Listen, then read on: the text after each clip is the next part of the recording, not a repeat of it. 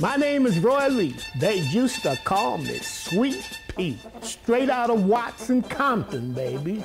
Roy was a big physical receiver. If he caught the ball, you better be ready to get on your horse because he could run with the ball too. He ran a post pattern on me and he got inside. And that wasn't good. One year he took the Baltimore Colts to the Super Bowl. Can't be a better feeling than winning that Super Bowl. Tom Landry was a defensive innovator.